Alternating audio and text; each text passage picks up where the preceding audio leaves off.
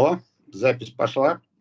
Я приветствую, я приветствую Борис Ковальский, актер, режиссер, блогер, педагог, не побоюсь этого слова, и просто прекрасный наш товарищ, ну, я Роман Качанов. А также я приветствую на канале Попкон и на всех прочих каналах, где будет залито это видео, благодарных и очень благодарных зрителей. Сегодня мы хотим поговорить э, о свободе. Вот. Э, мы назвали э, этот стрим, это сладкое слово, слово свобода, понимаешь? А что я хотел сказать? Вот есть некие такие аксиомы, а, что вот что-то хорошо. Возникает вопрос, почему. Например, есть аксиома, что красота – это хорошо, да? Ну вот ты как актер, режиссер и блогер, вот ты красив, да? А, почему-то априори считается, что это хорошо. Но, наверное, тебе это помогает с размножением. Вот. Или э, когда ты договариваешься с какими-то э, с какими-то инстанциями, а там девушки, значит, работают. Ну, может, тебе это действительно как-то, это хорошо, но это как, ну, требует объяснения, да? Но мы сейчас не про твою красоту хотим поговорить, а про свободу. Есть такое понятие, как, что свобода однозначно хорошо, и что это естественная, неотъемлемая часть прогресса и вообще цивилизации. Но при этом мы хорошо знаем территории, где свобода слова ругательное. И, в общем-то, благополучно без нее обходится. Российская Федерация, Гвинея-Бисау, какие-то племена там есть, да, которые еще не освоили письменность и человеческую речь. Ну и некоторое количество э, из, из, из, значит, каких-то эскимосских племен, я точно не помню их номенклатуру, тоже считают э, свободу необязательной. Во всем остальном мире она считается обязательной. Но скажи мне, вот какая польза от свободы? Вот если я вот с точки зрения обычного э, русского э, эскимоса из Гвинеи Бисау спрашиваю, а какая вот мне польза от свободы? Свободы, польза – это цивилизационное развитие в первую очередь. Потому что мы видим, что свободные общества, Британия и Франция, которые первыми стали на путь свободы слова, у которых впервые появилась свобода и свобода прав и высказываний, очевидно, что в перспективе они не остановились в своем развитии. Граждане по итогу живут, когда у них есть определенный набор гражданских свобод, как избирательное право, право передвижения, право высказывать свою собственную мысль. Нету такого понятия для меня, что какой-то не готов к свободе, как вот постоянно любят рассказывать по российскому телевидению. Нам еще рано к этому готовиться, мы еще никогда не будем готовы, если что свобода это еще и ответственность. Ответственность, она страшна.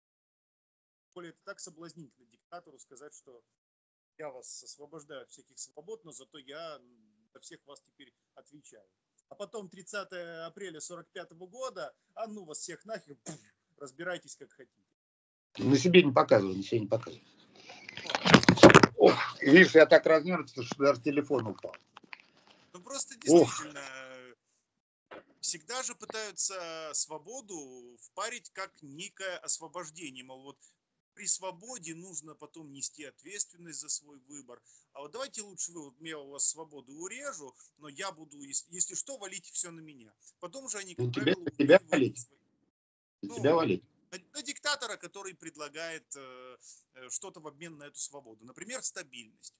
А потом, когда этой стабильности не наступает почему-то, э, ответа. На, на, ну, когда не наступает стабильность, находится много виноватых.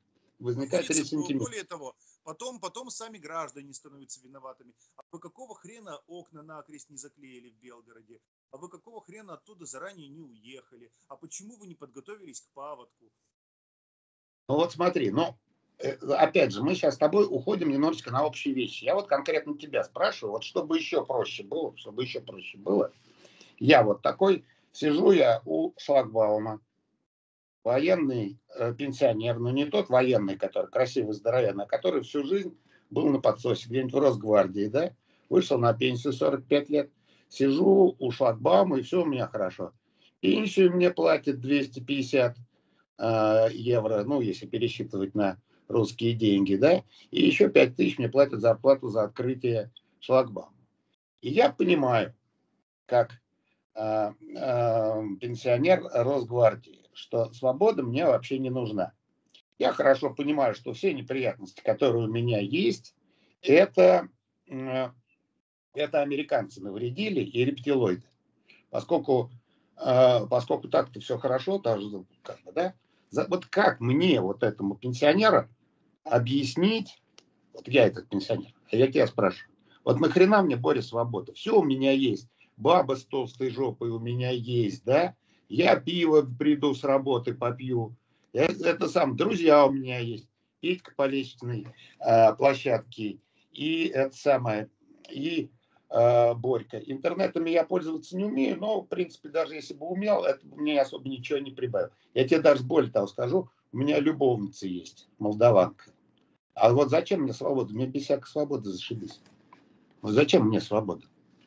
Вот пока вот эта идиллическая картина в вакууме случайно не нарушается тем, что твоя любимая дача в 6 соток и захочет быть отжена более зубастым соседом, которого родственники в ФСБ, uh-huh. и его близкие друзья в, черном, э, в черных куртках в джипе поломали тебе ноги, Тут все и заканчивается, потому что как только это случается, тебе понадобятся институты свободного общества.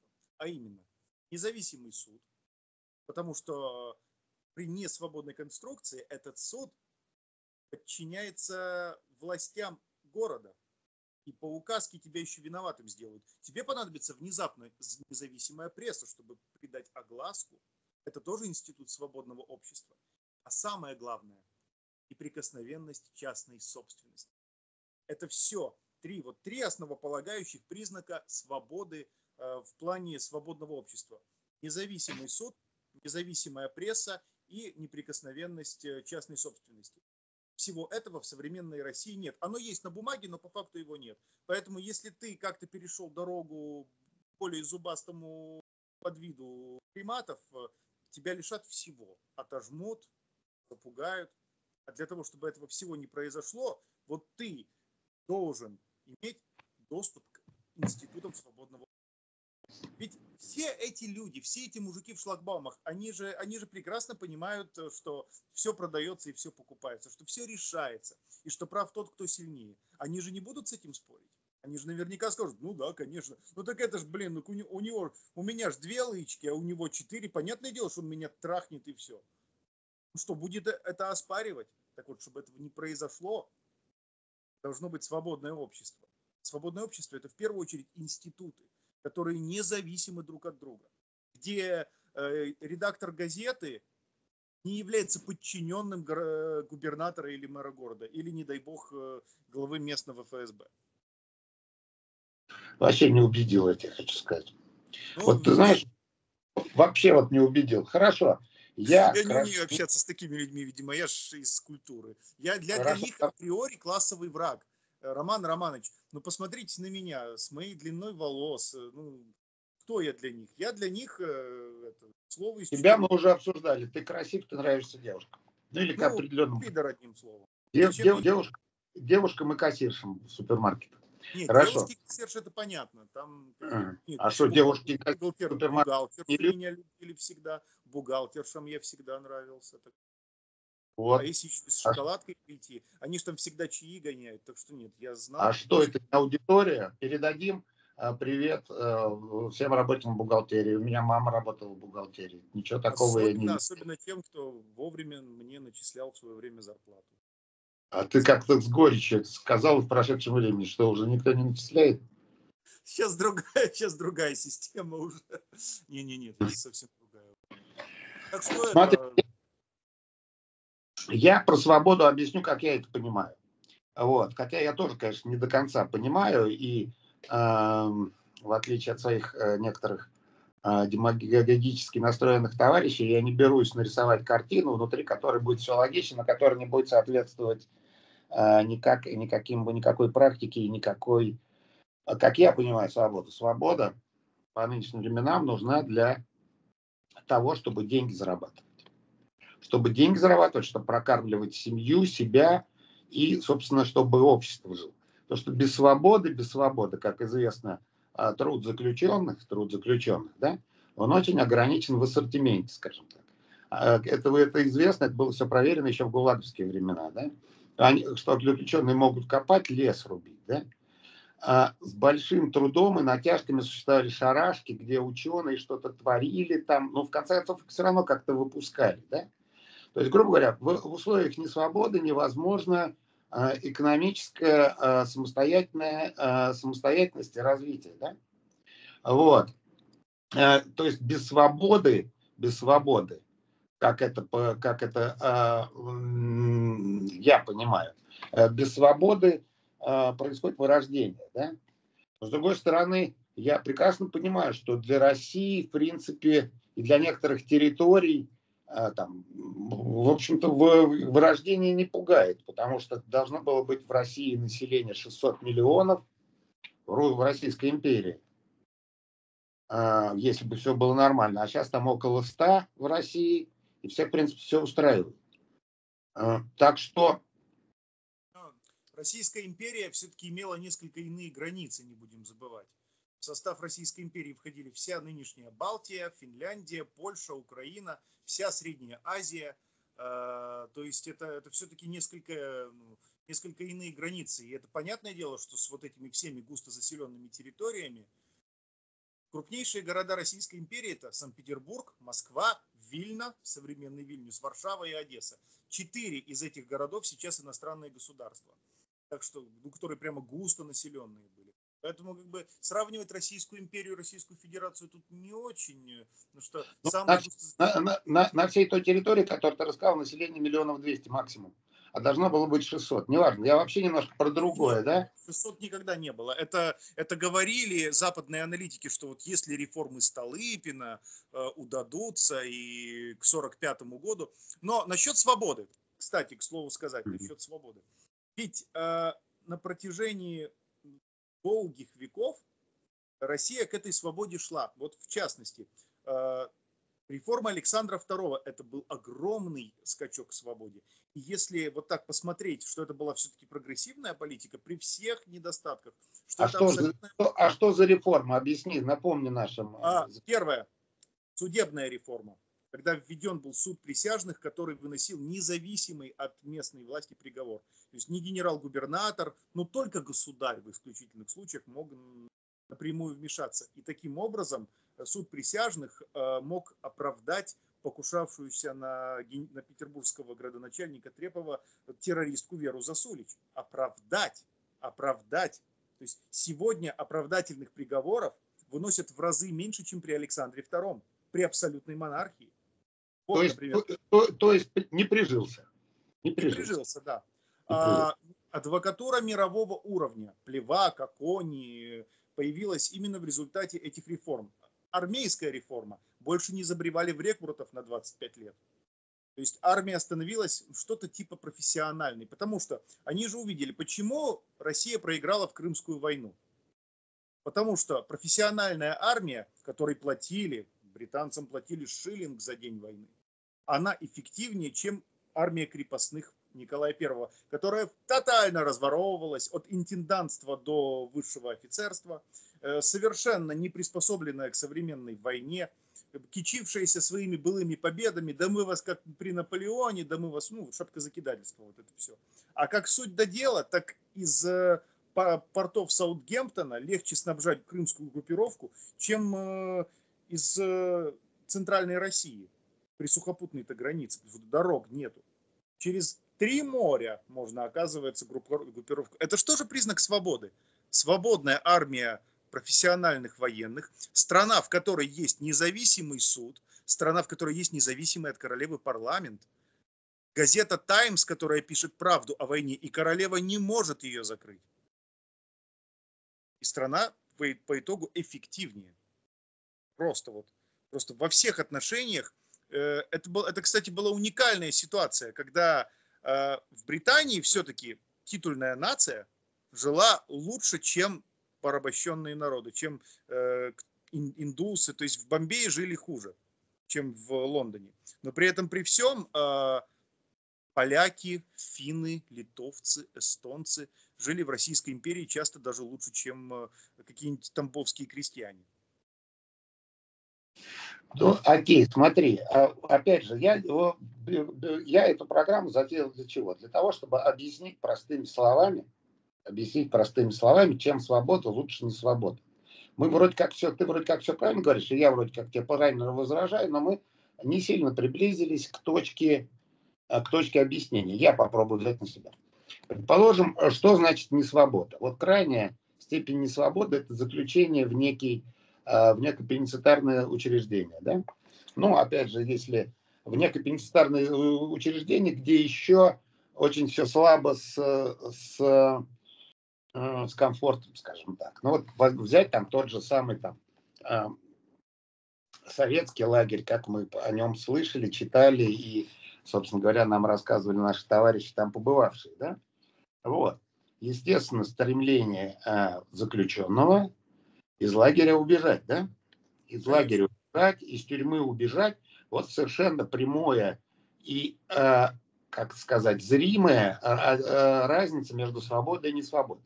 Возможно, это можно масштабировать и на общество, и на а, и не только на пенитенциарные учреждения, но и на некие общества замкнутые, ну, типа Северной Кореи, России там или Ирана, да. Но есть одно серьезное но.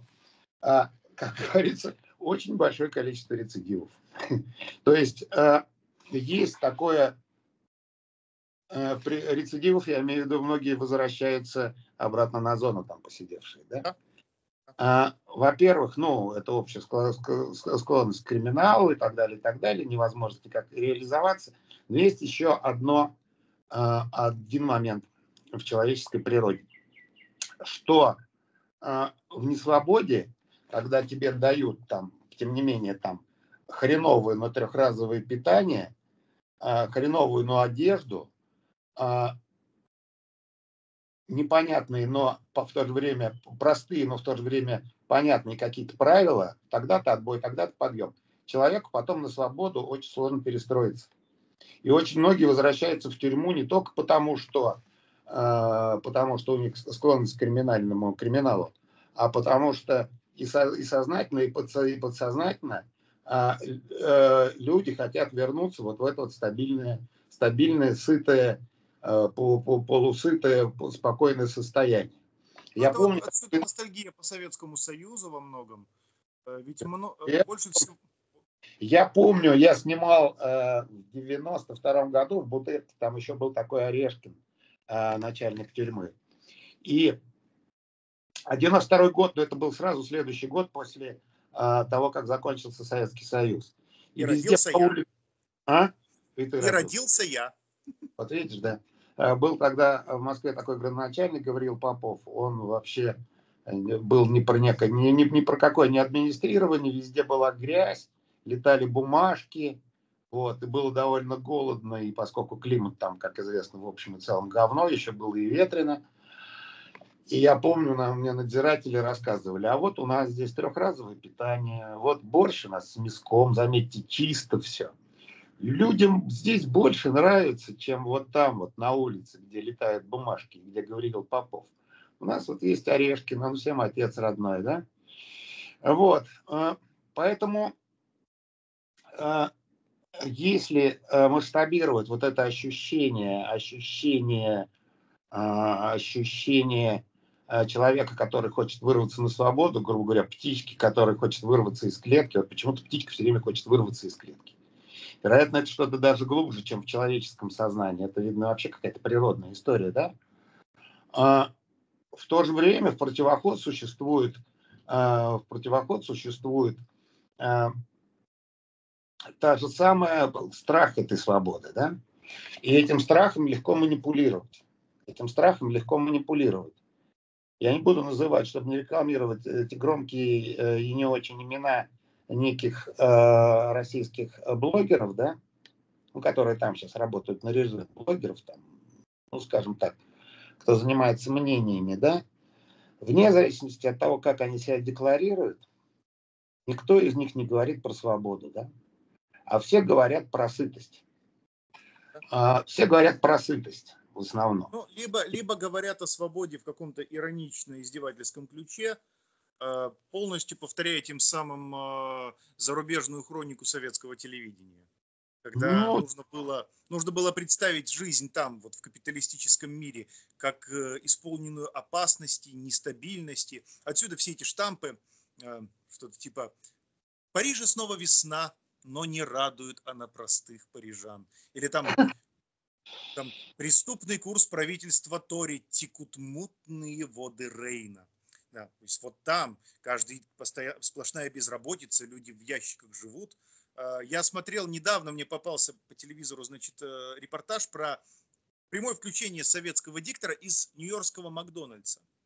И там, конечно, просто на Пятой авеню, где в основном дорогие бутики и фешенебельные рестораны, есть один – куда в основном идут обедать нищие мешочники и иммигранты.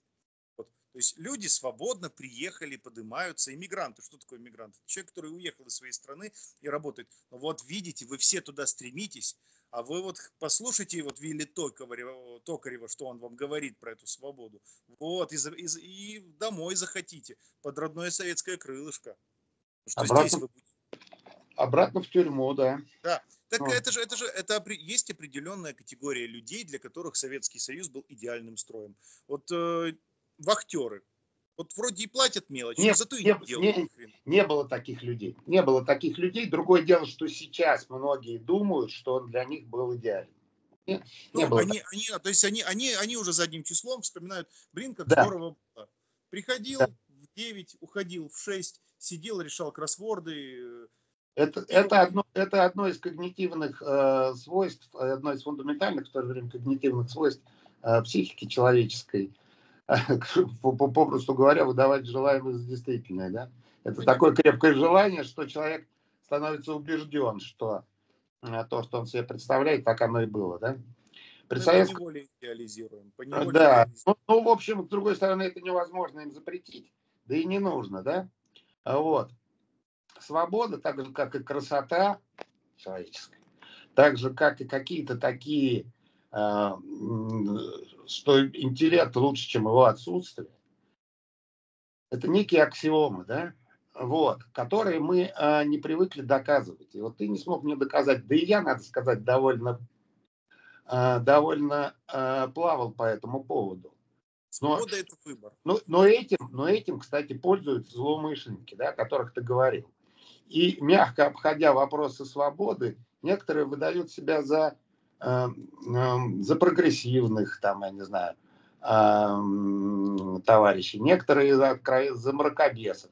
Но неважно. Но когда из всего этого комплекта вычитаются категории свободы, да, то, в принципе, можно считать это манипуляцией. Любую, под этим я называю, ну, а, любая агитация за все хорошее против всего плохого, а, ради чего? Ради свободы. Свобода для чего нужна? Для того, чтобы человек был жив. Но это некий абстрактный человек, понимаешь? А каждому конкретному человеку злоумышленники, и в кавычках, и без кавычек, а, готовы объяснить, что, в принципе, в отдельном каждом случае это не обязательно, да? Вот, Роман Романович, я да. попытаюсь еще раз со второй попытки доказать на простых, понятных исторических примерах. Вот э, почему свобода лучше, чем не свобода. Простите, что Медведева процитирую. Он, кстати, вот когда-то президент России, как нам казалось, с человеческим лицом, да, говорил, что свобода лучше, чем не свобода. Простейшая фраза. Почему? Любой человек, когда у него спроси, а вот что такое идеальный образ жизни для тебя? Он скажет, открыть свое дело, э, купить себе машину, купить себе квартиру, съездить э, в отпуск с женой, детишкам купить что-то. Все это наиболее эффективно будет реализовано в свободном обществе, где ты защищен. Потому что это и есть свобода. Свобода, что у тебя не отнимут жилье, что у тебя не отожмут бизнес, что у тебя не отожмут твою систему передвижения, а тебя не вывезут в лес. Это все. Все это может гарантировать только институты свободного общества. Это раз. А, Давича Маргоша Симоньян в своем эфире э, сказала, что вот как хорошо было, Муравьев Веленский вешал всех инакомыслящих, вот как э, было здорово, товарищ Сталин тоже понимал, вот все эти люди, которые это говорят, они же себя, когда это говорят, мнят высшей аристократией, что они там, в царской России, были бы высшей аристократией. Почему? Да потому что высшая аристократия как раз и обладала полнотой свободы в этом строе. А Маргоша Симоньян была бы инородцем. Вот. То, есть, то есть сословием, ограниченным в свободе. Слушай, а ну это, то, это тоже в человеческой психике. Все, когда читают да. три, муш, три мушкетера, представляют себя мушкетерами, а не крепостными крестьянами, которые в этом ну, момент. Да. Вот, в этом-то и дело. Э, вы, вот вы тоскуете по России, которую мы потеряли. А вы знаете, что такое подорожное? Э, подорожную даже Пушкин, дворянин, с большим трудом выцыганивал у государства, чтобы поехать в Грузию, в Тифлис. Иными словами, это внутренне государственная виза, то есть просто документ от чиновника, подписанный, что ты, да, имеешь право переместиться из города в Москвы в город Тифлис. Есть, а чего так далеко ходить? Я помню времена, когда ты куда-то переехав, в течение трех дней должен был прийти и перепрописаться. Более того, если если ты это не делал, то это был то, то тебя для начала сажали на один год. Ну, то есть сначала там какой-то штраф, потом сажали на один год, а потом, в общем-то, ты уже становился, тебе уже э, более подробно объясняли, что что, что большое, что, что большой лагерь, что маленький лагерь это одно и то же. И будь любезен, пожалуйста, соблюдать э, распоряжение, вот, а, распоряжение а начальника лагеря. А какой да. замечательный квест был э, перебираться даже в какую-нибудь Болгарию, э, вот, оформлять загранпоездку. Это сколько инстанций надо было Вообще, вообще было невозможно. Э, это а вообще, вы, вы а за, за границу выезжали, даже в Болгарию, даже в социалистические страны выезжали единицы. И только по турпутевке с, с огромным количеством оговоренностей, с огромным количеством ограничений, если часть семьи у тебя оставалась э, в СССР, это было вообще, я про заграницу даже не говорю. Вот. Но, э, опять же, колхозникам и работникам сельского хозяйства, скажем так, сельского труда, только при Хрущеве, то есть где-то в конце 50-х, выдали паспорта. Они вообще не имели права передвигаться. То есть ну паспорт давался по особому, внутренний паспорт, по особому случаю, там заседал там все правление колхоза, выясняли, а зачем тебе нужно уехать, от чего. Что там Пушкин вот. Ну да, но ну, чаще всего же люди, которые говорят про достоинство сталинской системы, себя представляют в пыжиковой шапке на мавзолее. То есть сословием, ну вот классом при советской власти, который имел полноту свободы, ну, относительную. Я думаю, они ничего не представляют. Большинство этих людей, которые об этом говорят, просто безмозглые идиоты. Вот, поэтому... они, это, они это подсознательно представляют. Нет, это не значит, что они рационально это понимают, но подсознательно они же действительно считают, что раз мы при Путине э, высшая каста, то, скорее всего, при Сталине было бы точно так же. И там при Александре Первом тоже.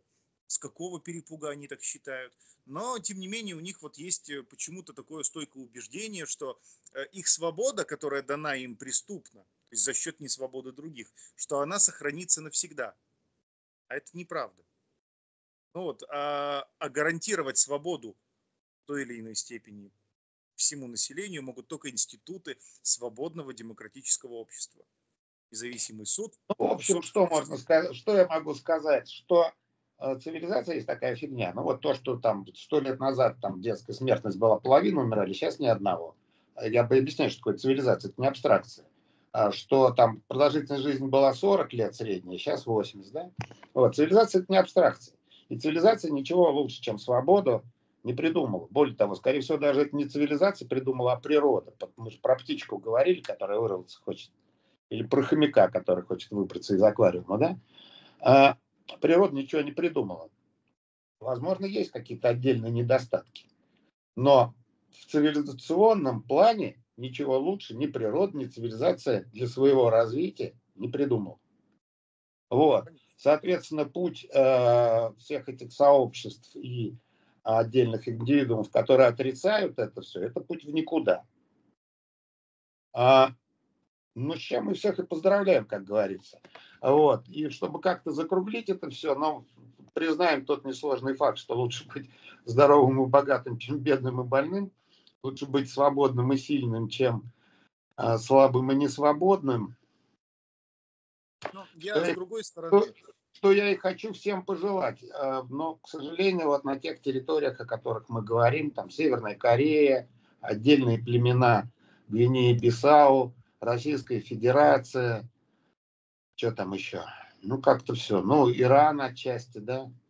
Вот. К сожалению, там вот не переживается свобода. Может, это Я склеп... не знаю, как они, как они вообще без этого живут. Я вот когда-то давным-давно еще читал про дом на набережной, вот эта высотка, которая в Москве, Я знаю. где жила вся советская номенклатура, там от стахановцев до каких-то... Это не высотка, но неважно, да. Ну, Она называлась э, Дом правительства. Вот.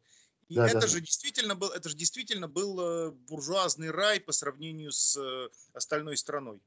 Такого комфорта, эти четырехметровые потолки, пятикомнатные квартиры, особое снабжение в голодной стране. Но вот представить себе на секундочку. Они, скорее всего, жили в большем комфорте, чем какие-нибудь иммигранты в Париже, недобитки, белогвардейцы. Но постоянно... Их было, страх... их, их было тысячи человек на 200-миллионную страну. Да, но вот но, но постоянный страх, что вот за соседом уже пришли, и туда въехали другие. Он Рыкова расстреляли, он теперь враг народа. Снимаем его портрет со стены. А вот въехал Ежов или Егода. И этих убрали. А ведь однажды и за мной придут. И каждый раз думать о том, что стук э, каблуков на лестнице – это за тобой. Я не знаю, как в этом жить. И толку с того, что у тебя вид из окна на эти кремлевские звезды, пропади они пропадом. Ну, я не знаю, как вот так жить, вот в этом постоянном страхе. Это, вот это же колоссальная несвобода, постоянно фильтровать базар. И ведь нет же никакой гарантии, что ты не впадешь в немилость к э, усатому товарищу и сам не окажешься на индигирке или в подвале Лубянки. Вот это же не свобода. Это и ты, и это, и это подталкивает тебя к тому, что раз не стучат на тебя, надо стучать самому. Надо первому настучать на того, кто может потенциально настучать на тебя.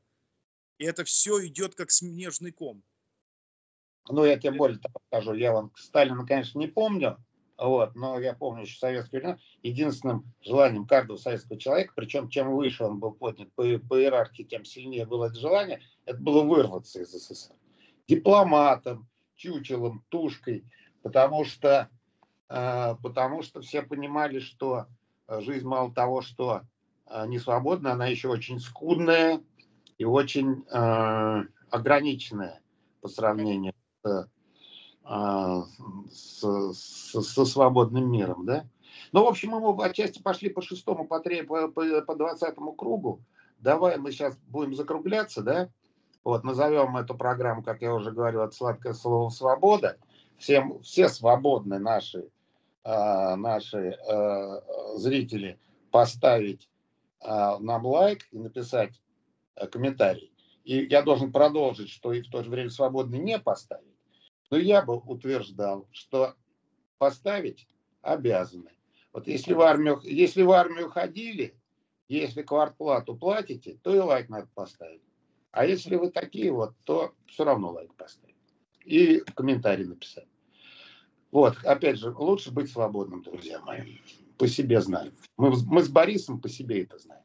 Всего доброго. Товарищ, верь она взойдет, звезда пленительного счастья, да? Мы, возможно, мы вернемся через неделю. Поговорим о чем да. Про, да. Чем-нибудь параллельном, перпендикулярном. Всего доброго, до свидания. Будьте здоровы.